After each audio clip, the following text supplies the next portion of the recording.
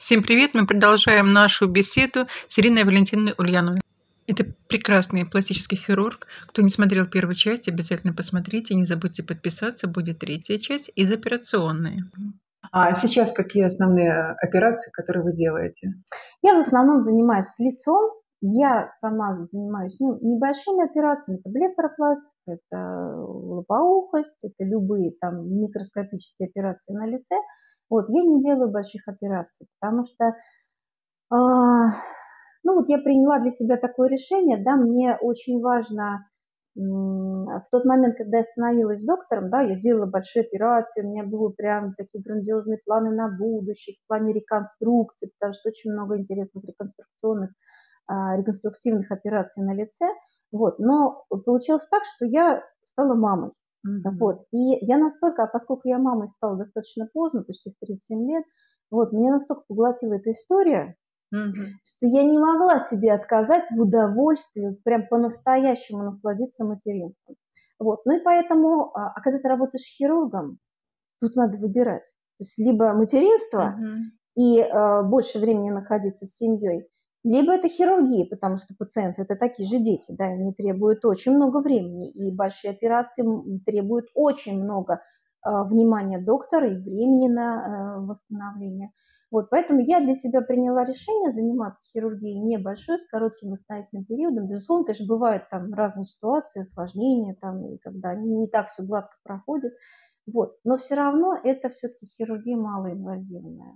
Но она мне приносит удовольствие. Ну, это и видно, и пациентам видно, и вас глядя видно, что действительно вы идете на работу, как, не знаю, на праздник, это, конечно, глупо говорить, да? Ну, праздник не праздник, ну, не но с удовольствием. С удовольствием, да, и вот, наверное, и другим можно пожелать, чтобы вот ваша работа была удовольствие, а не каторга, а не пытка. Ну, конечно, при том, что э, мы все-таки, у нас немножечко все, она хоть и медицинская, да, и хирургия, и все как положено должно быть, но все-таки мы работаем со здоровыми людьми со здоровыми людьми, которые пришли там кусочек кожи отрезать, там, ну или там что-то увеличить себе. Я считаю, что каждый человек красив, да, все, все же зависит от индивидуального воспринимания собственной внешности. Тут все-таки нет, тут все-таки восстановление или реконструкция, реконструкция собственного лица, да, мы скорее не улучшаем, мы просто восстанавливаем. Самая важная вещь в пластической хирургии, на мой взгляд, сохранить лицо естественным. То есть если речь идет не о реконструкции, да, не о посттравматической какой-то э, восстановлении, вот, а речь идет просто о возрастных операциях, наша задача оставить человека собой просто без лишней кожи, без лишних морщинок, без лишних там каких-то провисаний. Вот и все. Угу. А в каком возрасте блефаропластику лучше делать? Когда есть показания. Бывает, не, что показания... Это зависит от конституции, да, у кого-то конституционально тяжелые верхние веки с рождения, да, и человек к 25, там, к 30 годам приходит, он просто не может ни накраситься, девочка, ни ресницы там себе эти отрастить. Угу. Вот, понятно, что мешает век, и, конечно, там кусочек, небольшой кусочек кожи убрали, человеку сразу стало жить лучше. Бывают возрастные изменения, которые просто с возрастом уже тонус кожи или там ткани меняется, да, и это тоже начинает человеку мешать жить. Угу. вот. Ну, в общем, не зависит от этого. Не зависит, зависит да. только от И подтяжка показаний. лица тоже не зависит от возраста. С подтяжкой лица там немножечко сложнее. Понятно, что в 20 лет человек подтяжку лица при, предлагать не будешь. Но бывает ситуация, что когда э, достаточно молодые женщины после большой потери веса, например, после там гастропластик каких-то с целью похудения теряют там по 60 по 80 килограмм. Понятно, что у кожи, хоть и даже у молодой кожи, нет возможности сократиться до нужного объема. Поэтому, конечно, мы таким пациентам не отказываем подтяжки лица. Вот, но все равно эта история не, а, не прям не девочек. А вот сделали блефаропластику, она повторяется потом эта операция? Ну, верхняя блефаропластика, поскольку века находится все время в движении, естественно, растягивается. Вот, она может повторяться, в принципе, достаточно безопасно до трех раз в жизни. Ну, естественно, с интервалами с какими-то. Вот, нижняя блефаропластика, в зависимости от того, в каком возрасте сделана, ну, наверное, все-таки максимум два раза в жизни может быть. А вот, можно потому один? Что, а, а чаще всего один. То есть, предположим, у человека конституционально есть жировые грыжи, то есть мешочки под глазами, да, и а, пациентка удалила их там в 25 лет трансконъюнктивальным образом. Прошло 30 лет, и появилась лишняя кожа, да? Но это Ну, уже есть лишняя кожа, а не ли- грыжа. ли- грыжа, как правило, в таком объеме уже никогда не, не появляется. Появилась просто лишняя кожа. Соответственно, сделали повторную блефаропластику, но уже обычным кла- классическим традиционным методом. Вот, просто с целью подобрать эту кожу. Мгм. Вот. То есть э, я буду надеяться, что мне это надолго. Вам Тогда надолго. вопрос. Зона орбиты– это такая отдельная зона. Все, что связано, например, с подтяжкой лица, да, вот с нижней третью, с шеей, тут, конечно, э, могут влиять разные факторы. Например, самый первый– это изменение веса. Если человек туда-сюда гуляет, даже с небольшим, с небольшой амплитудой потери или прибавки веса, все равно лицо этого не прощает. Все равно в какой-то момент проявится и овал, и шея, и шейно-подбородочный угол вот этот. Вот, поэтому тут, тут основное это вес держит. Ну, безусловно, еще многое от конституции зависит. Качество кожи. Много эластина или много коллагена. Бывает кожа, знаете, такая вот как трикотаж. Тянется так, с ней очень легко работать. Эластичная. Эластичная, такая гиперэластичная кожа. С ней очень хорошо легко работать. Она очень предсказуемая, она хорошо восстанавливается. Но эта кожа очень быстро теряет тонус. И повторная операция у такого пациента а, может случиться гораздо раньше, чем у другого, Да? у которого, Что например, наоборот. кожа плотная. Как джинса такая, которая не тянется. Вот его натянули, и она стоять будет там Мгм. годами, никуда не денется. Поэтому вот, вот это тоже немаловажно имеет значение. Вот у меня такой вопрос. А сколько по времени длится э, блефаропластика? Потом сразу я задам другой вопрос. Это срок реабилитации. да? Значит, сама операция длится недолго, да, но э, верхняя блефаропластика в зависимости от кровотечения там 20, ну, 40 минут может быть э, длится, э, потому что она очень поверхностная, она очень понятная, она очень э, предсказуемая, ну и там не возникает технических сложностей. С нижней блефаропластикой сложнее. Все, опять же, зависит от э, каких-то индивидуальных особенностей. Где-то нужно укреплять контальную связку, где-то там нужно перераспределять грыжи, где-то там нужно убирать мышцу, где-то ее нужно сплицировать. То есть нижняя блефаропластика, это, скажем, ну, операция немножко другого порядка, поэтому длится она может там, от 40 минут до полутора часов, в зависимости вот от э, исходного состояния. Вот. А в плане реабилитации, как я всем пациентам говорю, все это зависит от ваших синяков. Через отеки мы все пройдем, да, а все зависит от синяков. Если повезет, синяков не будет, к десятым суткам накрасилась, пошла радостная в свет. Ну вот, э, Да. скажем, как я. Да? То есть в четверг мне сделали операцию, во вторник я вышла на работу. Ну, Э, прекрасно. Правда, в темных очках, но все-таки на десятые сутки, да, я, по-моему, накрасилась. Ну вот вы, вы, вы из числа везунчиков. Такое бывает, безусловно, чаще, чем реабилитация, которая составляет там и 3-4 недели. Но это, как правило, связано с гематомами. Потому что на, в области век бывают достаточно сильные иногда гематомы. Я не говорю о страшных гематомах ретробульбарных, они бывают казуистически редко, но тем не менее о них забывать мы точно не должны. Вот. А бывают просто обычные гематомы, которые пропитывают все ткани орбиты, включая и конъюнктиву, и поэтому такие гематомы проходят очень долго.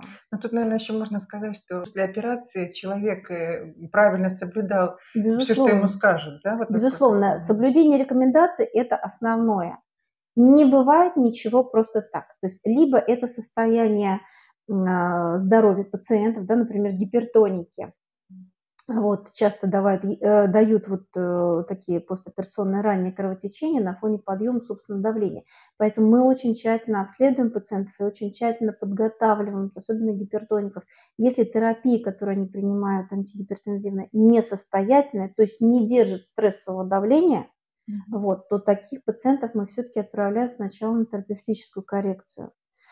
А, ну и вот четкое соблюдение правил позволяет избежать гематом. Не принимать э, слишком горячую пищу и питье. У меня была ситуация, когда все с пациенткой а, созвонились, все хорошо, все нормально было. А потом она, забыв, что я ее предупреждала, что нельзя пить горячий чай, в 11 часов вечера попила кипяточку, у нее раскровился глаз. Это вот была одна из первых моих таких серьезных гематом, когда мы выезжаем ночью, потому что все гематомы а, в области орбиты требуют немедленной ревизии. Орбита замкнутое пространство, и если, не дай бог, эта гематома начнет сдавливать а, зрительный нерв, это может кончиться необратимой слепотой.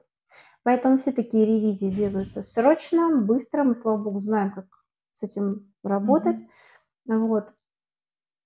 Поэтому соблюдение правил. Ну, как я сейчас поняла, вы работаете в паре, да? И одна, и в паре, да? Мы работаем со вторым учеником, с, с Григорием Александровичем Горбуновым.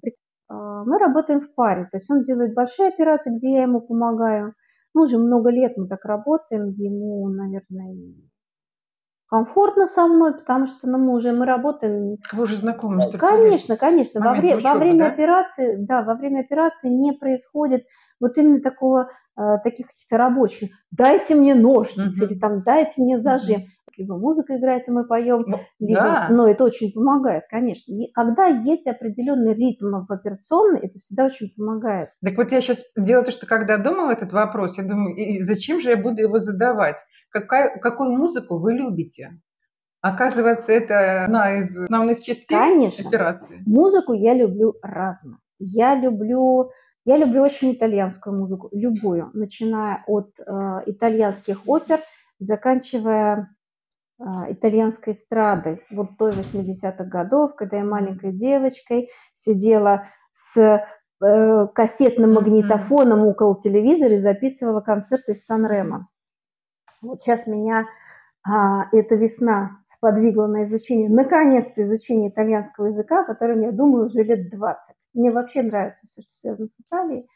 Вот. И поэтому вот я сейчас начала изучать итальянский язык. Соответственно, пою по-итальянски, это mm-hmm. приносит меня необыкновенное удовольствие. Учу слова, так, но я очень серьезно к этому отнеслась. Вот. А я очень люблю русский рок. Вот, знаете, э, как раз вот 90-е, 2000-е годы. Я очень люблю, безусловно, эм, а, и Beatles, и Rolling Stones. Это музыка моих родителей, на, которых, на которой я выросла, и Аба. В общем, я очень в, в музыкальном смысле я разносторонний человек. Я не очень люблю музыку, которая вот сейчас запускается в ночных клубах, вот это туч-туч-туч. Вот эту музыку я, честно говоря, не очень принимаю. Я сейчас прислушиваюсь к своему сыну, которому 15 лет, что слушает он. Не все мне нравится, но я все равно в этом принимаю участие и э, слушаем вместе. Угу. Ну, мне знакомо это, я тоже слушаю иногда, угу. потому что дочь слушает. Вот. И э, иногда делаю вид, что это мне нравится, а потом понимаю, что мне это действительно нравится. Да, да, да. Вот удивительно, вот. 15 лет, да. а он иногда такие интересные мне подкидывает музыкальной истории. Такой вопрос, который я хотела еще раньше задать. Бывает такое, что не сами приходят, а приводят пациента. Вот, э, муж, муж там свою жену, там не могли бы вы ее потрактовать? Ну, это грустно на самом деле. Но ну, История, бывает, когда, да? когда, ну, такое бывает, да, такое бывает, когда муж приходит и муж настаивает операцию. Я считаю, что это неправильный путь. Я считаю, что я считаю, я провожу, безусловно, беседу, не всегда прислушиваются ко мне, но я все равно на эту тему беседую. На мой взгляд, самое важное – то, как видит себя сам человек и то, что он хочет э, в себе изменить. Не муж, не сестра, не косметолог, не там соседка, а именно сам человек. Если самого, самого человека устраивают на высшие веки, пусть он с ними ходит. Не надо ничего делать. Иногда лучшая операция – это не сделанная операция. Вот. Но мужчины с блефаропластикой, как, как правило, ну, не часто приходят компаньонами своим женам. Как правило, это все-таки связано с телом, вот, с грудью. То есть вот самый такой вот э, ключевой момент, как правило, когда, привести, когда да? пара приходит именно с проблемами с грудью. И именно, как правило, все-таки с увеличением груди. Вот. А с лицом редкий случай, когда мужчина бывает таким партнером. Как правило, женщина наоборот хочет скрыть от своего любимого и следы операции, и такое бывает. Да, у меня подружки, они скрыли, мужья так не узнали, Да, да, если, если, если муж не очень внимательный, если муж никак не связан с медициной, очень легко все это дело женщина очень ловко умеет все это дело скрывать. Ну, мне иногда приходится буквально вот подводить на 10 сантиметров, показывать, да, я сделала, и вот начинается рассматривание, где. Вот. Ну вот это же самый класс. Да. Когда ты видишь человека за 10 метров, и, что он и ты делал? понимаешь, что он жертва пластической хирургии или жертва косметологии, потому что ну, сейчас бывают гипертрофированные все эти истории. Uh-huh. Ну, вот, и с перекачанными губами, и скулами, и там с надбровными дугами.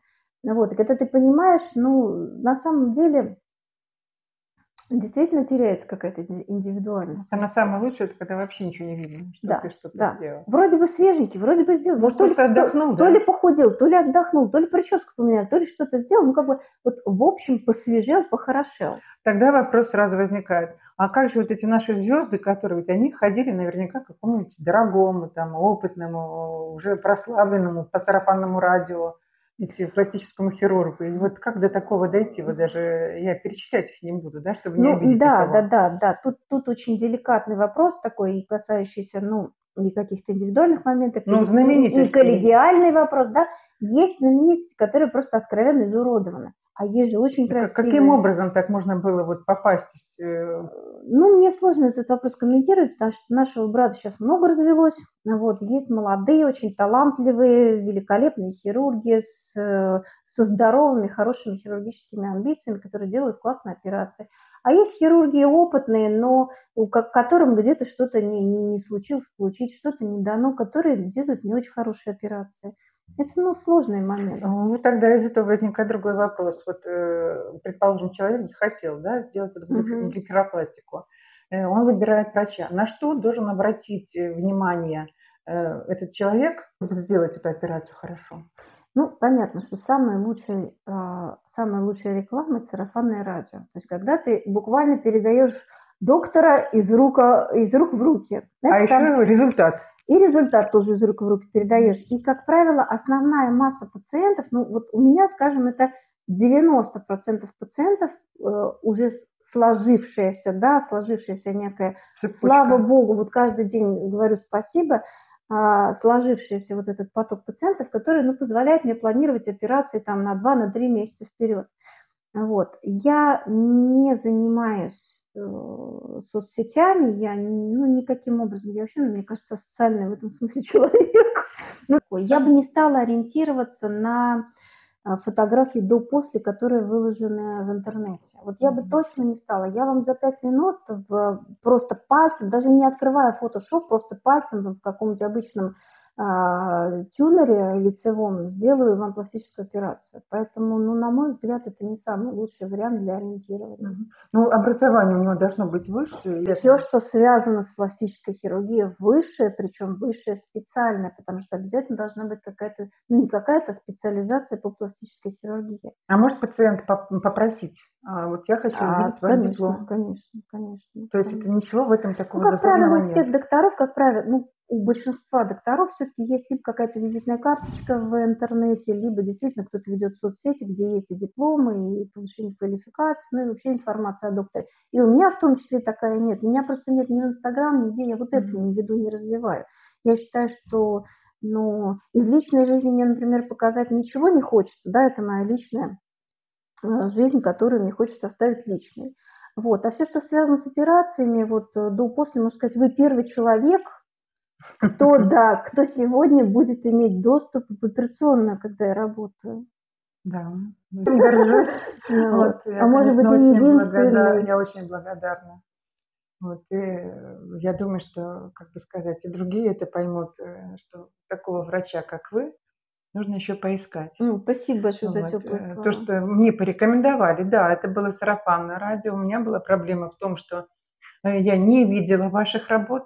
Но сразу скажу, когда вот я пришла, и вот мы с вами там два-три слова обмолвились, да, и я посмотрела на вас, особенно когда вот я увидела вас внешне, да, если человек если выглядит так, значит, он э, и к другим будет также относиться. Я тогда поняла, что все будет хорошо, действительно, и вот поэтому я шла спокойно, поэтому я зажила очень быстро, да, э, реабилитации, поэтому я сказала, я хочу снимать.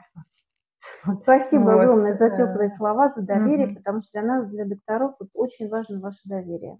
Очень Мгм. важно. Хорошо, спасибо. И вам спасибо.